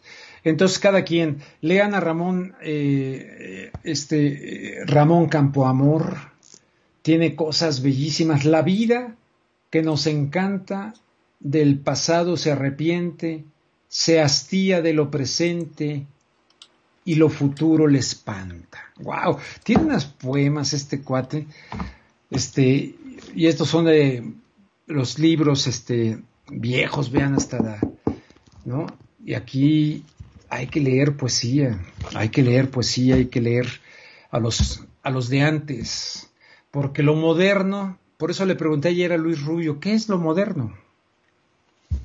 Estamos siendo víctimas de nuestro propio progreso, entre comillas, en muchas cosas. Pastor Delgado, hasta aquí le llegamos. Muchas gracias a las personas que pusieron atención, que nos vieron. Este, muchas gracias a las personas que estén de acuerdo o que estén en desacuerdo pero con respeto, con inteligencia, con, ¿no? Bien, jamás eh, buscaré que alguien piense como yo, de ninguna manera. Pero comentarios de, este de que, ay, cómo se ve que quiere llamar la atención después de lo que acabo de decir y, ah, y por publicar que un niño de 13 años murió después de lo que ya saben que se puso, sin antecedentes de ningún tipo de, no, mm. que ya le han hecho la autopsia, murió de 13 años de edad, un niño. Y como agregué aquí uno más, uno más, porque son miles de los que según el presidente dice que son inexistentes. Entonces ya lo ven como un ataque a, allá saben quién. Entonces, uy, y, les va una crítica que le hago a López Obrador. Estoy totalmente de acuerdo en que él sabe esto. Él sabe que tiene un ejército de gente que cancela su pensamiento propio. Él lo sabe. Y que se va a encargar en las benditas redes sociales de salir a la defensa del gran Tlatuani. Él lo sabe. Para mí la verdadera democracia es una educación, una politización en la que se genere el pensamiento propio, no como Rockefeller. No quiero un país de pensadores, quiero un país de trabajadores. Bueno, yo no quiero un partido político de seguidores. Si yo fuera líder de un partido político, por eso hasta la palabra seguidor en Twitter me molesta, porque yo nunca he querido formar una secta de mis seguidores y que se me hinche el pecho como determinado personaje que ya mencioné, el pingüinín, que olvídate, ¿no? Y esos hacen circo, maroma y teatro para que se les... Y entonces, ay, me siguen no sé cuántos, bueno. Esa es la bronca que estamos viviendo hoy. Lo, estableció muy bien Bauman. ¿Cómo se llama Bauman? Este, Sigmund.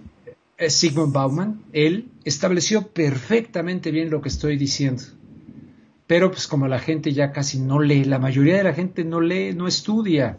Entonces prefiere que venga un, un, un visionario y que religiosamente le diga lo que es verdad y lo que es mentira y en un momento dado el que me ataque a mí, defiéndanme, vayan y destruyen. Y eso se construyó a través de ciertos youtuberos que jugaron ese papel. Pero en fin, pastor, ya fréname pues. no, adelante, Rubén, al contrario. Eh, eh, tenemos aquí rápidamente varios comentarios en el superchat. Eh, ah, Marc Cruz Bell dice, gracias a todos por apoyar a Rubén y Pastor. Miguel González dice, siempre con ustedes Rubén y Pastor por su profesionalismo, objetividad y humanismo. Abrazo fuerte. Mística que no nos deja mensaje, pero nos deja su apoyo. Nelly Holguín que dice, gracias por informarnos y decir lo que abiertamente se censura. Un abrazo desde Pachuca Hidalgo. Dos comentarios ayer que parece ser que no los leímos. A César R. Bernal que nos dejó su, un super sticker. Y Franny Diego que dice saludos a mi canal favorito, el tuyo, Rubén Luengas, somos rebeldes con causa. Y fuera del super chat tenemos más comentarios. Esteban Barba dice, buenas tardes, señor Rubén Luengas, Pastor Delgado. Eh, bueno, saludos a todo el chat. Un abrazo, Esteban. Eh, Vicky Jiménez dice, Pastor, nuestro compañero Miguel González, que por cierto es un muy querido amigo del programa, dice, es químico farmacobiólogo podría aportarnos información, ¿no crees? Definitivamente, ah, pues, hay que pues contactarlo. Buenísimo. Ah, pues hay que invitarlo. Químico, ah, sí, pero para. Además es una persona muy consciente, muy consciente. Pero no para este, en estas plataformas, créanme, nos tienen totalmente en las listas negras. Eh, saben, saben, siguen con eso. Entonces ahorita ya pronto, pronto les podríamos tener, aparte de los otros canales y todo, pronto si empiezo este esto que quiero hacer de lo de Husle y todo quiero hacer algún alguna cosa para ponerlo en, eh, en, los otros canales para poder hablar a calzón quitado a calzón quitado porque esos canales no están censurando como como los que ya saben quién. Además tenemos esa desventaja. Y lo mismo te hacen eh, Twitter le baja la llavecita. Ya lo ya lo dijo una vez Noroña y le creo. Noroña sé que por supuesto le baja la llavecita a lo que no conviene a lo que no conviene y, resulta que no te siguen tantos o no lo vieron tantos, no se hacen virales, tienen el control de aquello, pum, es un botón.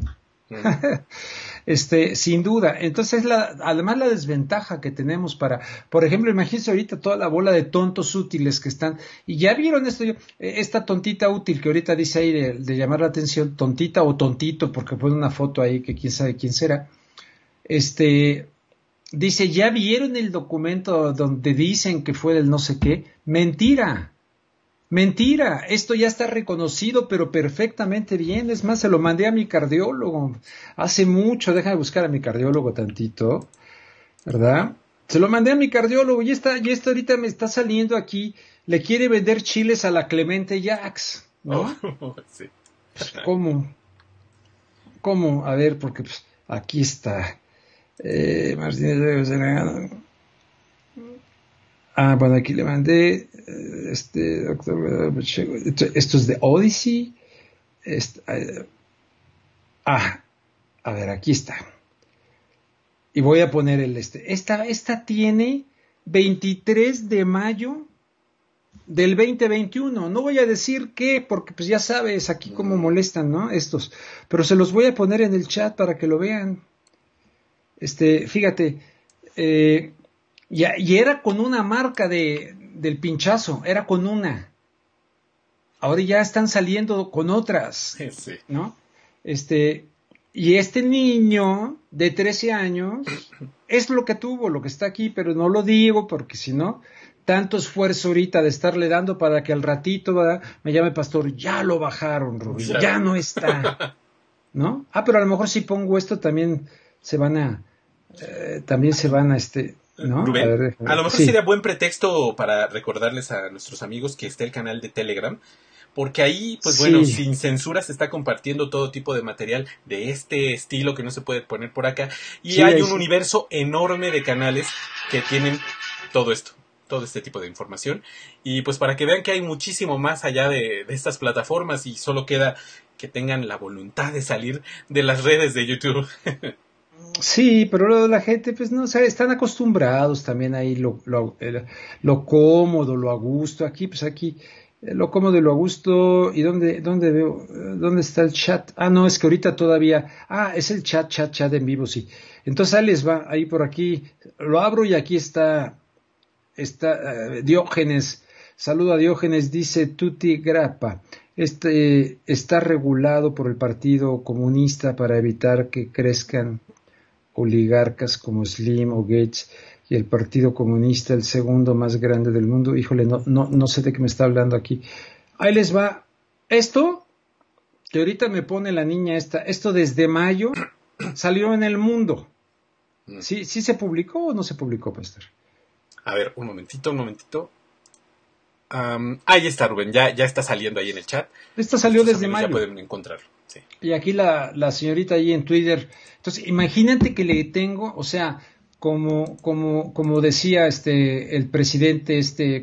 Este, yo no simpatizo con él, pero este, el del puro británico, el cachetón de la Segunda Guerra eh, Mundial. Winston Churchill. Winston Churchill decía, este, decía, eh, si, te, si te detienes a perseguir a cada perro que te ladre, en el camino jamás llegarás a tu destino. Entonces, imagínate ahí con, hay ah, algunos, entonces, y ponerte a hacer la tarea desde la A, desde la B, ahora la C, del 1 sigue el 2, el 3, 4, 5, 6. Ya lo viste, pero no lo van a ver, ¿por qué? Porque son negacionistas. Mm. Esos son los negacionistas. en cambio, a los que nos dicen negacionistas, yo soy un desobediente respiracionista. totalmente. Mi querido pastor Delgado, con esa me despido. Ah, aclarando, ¿eh? No estamos, como siempre hemos dicho, porque sería irresponsable y esto no va para los de la plataforma. Sería absolutamente irresponsable, eso sí. Este, no, no, no, de que, de que, de que algo pasó en el mundo, algo pasó en el mundo, pero que se manipuló a favor de una élite y que pusieron a muchos gobiernos, evidentemente, el de López Obrador se salva en algo. Se salva en que él dijo, ya vieron cómo por ahí, por... la única referencia que ha hecho a la dictadura mundial que se ha establecido, única, le dedicó una parte, lo dijo. Él tiene que saber más. Pero donde la ha regado por completo, porque se trata de que, ah, a ver, este, se los voy a mandar, pastor, dame chance tantito para que luego no me salga. Lo, publiqué ahí, lo publiqué ahí en ah, este, este, y, cuesta trabajo encontrarlo y, y desvelarte y leer y estar en ese asunto y tal para que luego la gente pues con su flojera llegue, no, pues no sé qué, que, que, que, pues porque no salió con Pepe Cárdenas, esto, ¿no? no. sí. A cañón, ¿no? A ver, ahí les va. A ver, ahí les va, déjame ver. Este, en Specific Groups, aquí está. Se los voy a compartir. Esto que están viendo aquí mm. es de del Centers for Disease Control and Prevention. O sea que la plataforma esta no me puede decir que tiramos tu canal porque estás, no sé qué. No, se los voy a compartir porque aquí advierte claramente, if you get a COVID-19 vaccine and you think you might be having a severe allergic reaction after leaving the injection, well, Ahí está, en inglés. Pónganlo en el Google y tradúzcanlo. Bueno, aquí invita, y todavía lo puse, entonces y una persona me dice, personas alérgicas. Yo, sí, ¿qué es lo que no entiendes? Personas alérgicas, ¿qué es lo que no entiendes? Hijos de la fregada, man. Perdón, pero es que, a ver, ahí les va.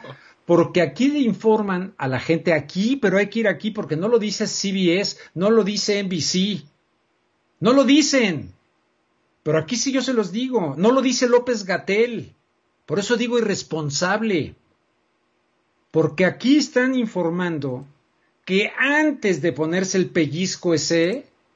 Vean eh, las alergias que pueda usted tener ante un elemento de estos.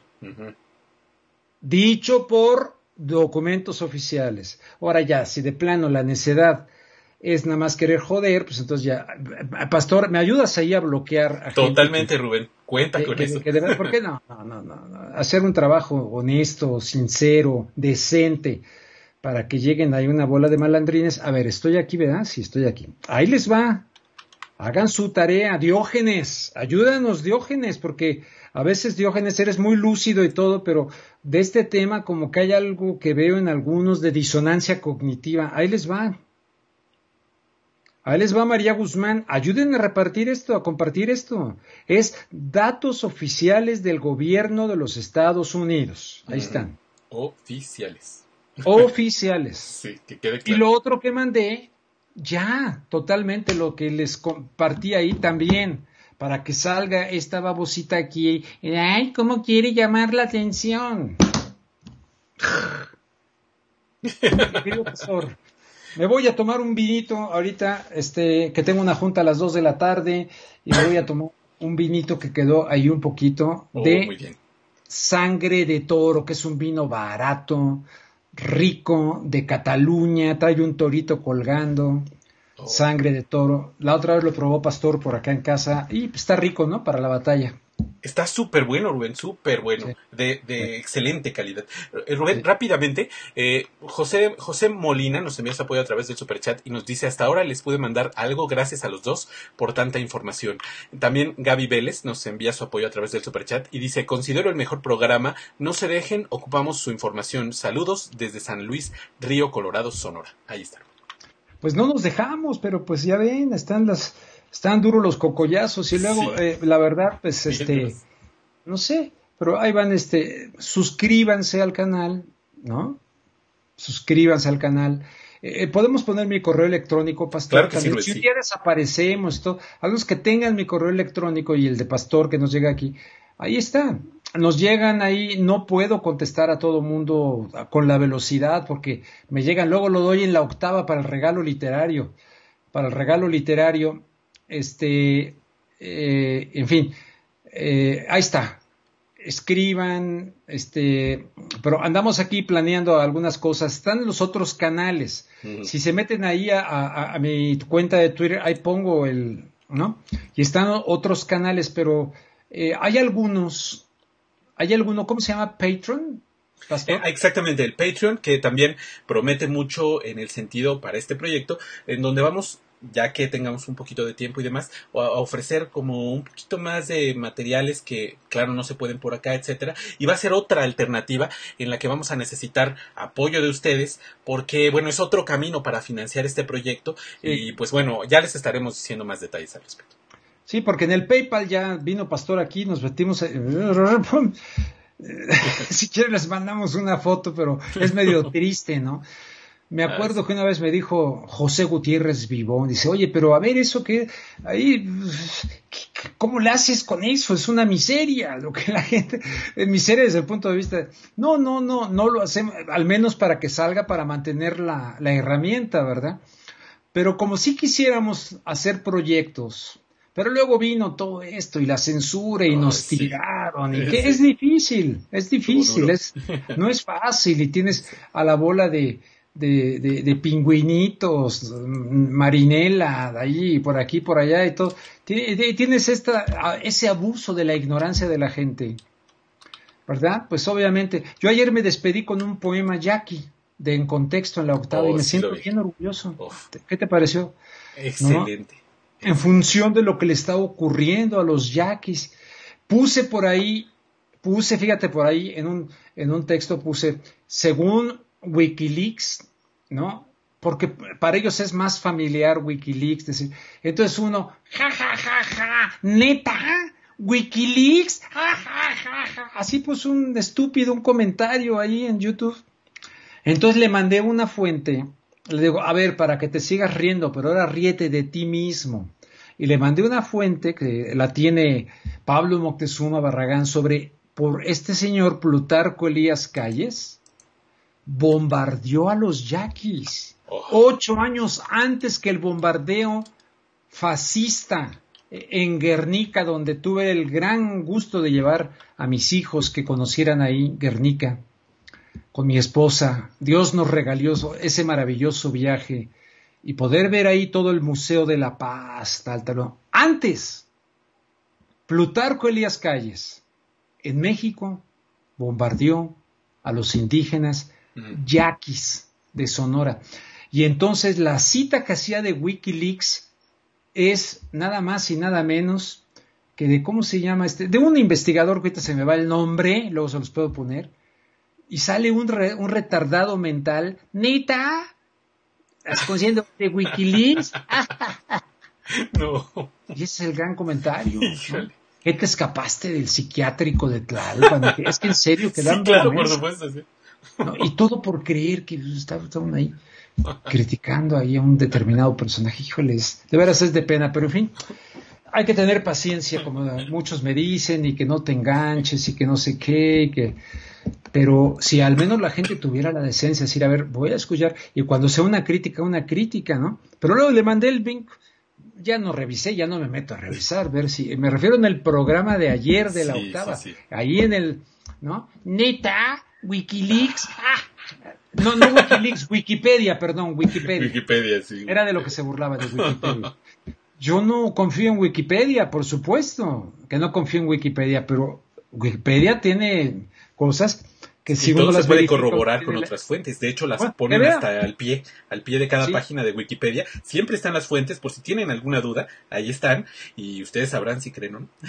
Exacto. Bueno, pero por lo pronto, lo de este Plutarco Elías Calles, que cuando mataron en el, en el Parque de la Bombilla a este Álvaro Obregón, ahí en San Ángel, en el Parque de la Bombilla, ahí donde está la mano de Álvaro Obregón. Oh. Ahí había un restaurante, pastor. Ah. Cuando él lo mataron, lo mataron, estaba comiendo. Y según tengo entendido, murió y cayó sobre lo que comía. ¿Sabes qué estaba comiendo? Mole. Oh. De ahí viene la palabra, le dieron mole. Le dieron. Tiene mucho sentido, totalmente. Tengo entendido que de ahí viene, al menos lo leí. Lo leí. Vamos a, a pensar que no sea cierto. Pero eso fue lo que leí. Y el chiste después de aquello es, ¿quién mató, mató a Obregón? Mm. Y la respuesta es, cállese la boca. Porque dicen que lo mató, mandó a matar Plutarco Elías Calles. No sé si sea cierto. Pero el chiste de la época era, ¿quién mató a Obregón? Cállese la boca. Y así decían calles, ¿no? ¿Quién mató a Colosio? Ah, mejor me callo. Sale, pastor. Un gusto, Rubén. Colosio, mano. Qué papelón. Sí, qué Colosio. de, veras, pobre chavo. Dicen que llegaba cantando a la universidad. Se hubiera dedicado a la cantada, no a la política, man. Ah, y pues sí, le hubiera quedado mejor. Su mamá, Colosio, que pues tenía en fin, así están las cosas. Pastor Delgado, muchas gracias. Nos vemos el mañana viernes a las 12 de día en contacto aquí eh, eh, por este mismo canal. Hoy a las 9 de la noche, este, a través del canal de YouTube de la octava, a través del canal 8 de televisión abierta y de el canal 8 de televisión de, de, la octava, y este, ahí estaremos a las 9 de la noche, si Dios lo permite. Gracias, pastor. Un abrazo, Rubén, un abrazo a todos en el chat y por supuesto siempre agradecimiento a todos los moderadores que andan por ahí. Muchas gracias. Abrazo.